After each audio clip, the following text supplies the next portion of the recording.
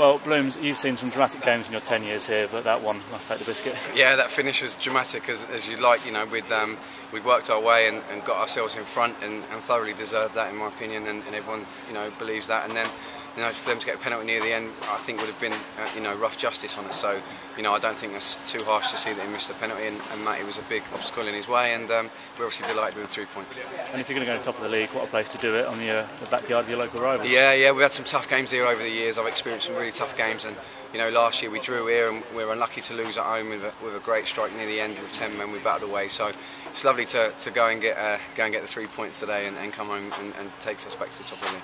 And on a personal note, uh, personal note, a starting berth for you today in the team. Obviously, uh, Paris being out of the side, but you've grabbed the chance with both hands and contributed to a, a great performance all round. Yeah, you know, um, it's, it's been it's been frustrating, you know, but I've had to be patient. And Paris has been playing great, as, as everyone has been playing great. And um, you know, but I've tried to keep myself as fit as I can. It, it's tough when you're not when you're not in the team to keep that match sharpness.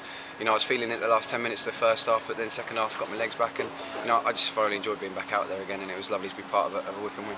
I suppose it's for those lads who haven't been involved. You're looking at those who are in the team and thinking, actually, you know, the performance has been so strong that it is going to be difficult to break in. Yeah, of course. You know, and, and you know the lads have been win, winning games, scoring goals, so it's going to be tough to get yourself in. All you can do is when you get the opportunity is to try and take the chance as much as you can. I'd like to think I've kind of done that today. Um, but next week's another week, and, and, and hopefully Paris will be back fit to strengthen us further, and, and we'll see what happens. But you know, it's just nice to enjoy today, and um, you know, it's just another three points towards where we want to go. You know, we need to try and get to that title and beat last year's title and, and, see where it takes us after that. But you know, it's just another three points towards that today.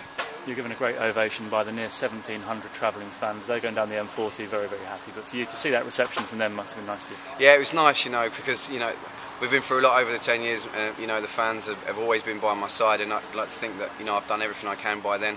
We've, you know, we've been through some good and some bad times, so it was lovely to get that ovation as I come off. I'd given everything, I didn't have much left, and, and the gaffer saw that, so uh, it was it was best to put Maxi on for the last 10 minutes, and I thought he did great when he came on, and um, yeah, it was just, just lovely to be a part of that and, and see them.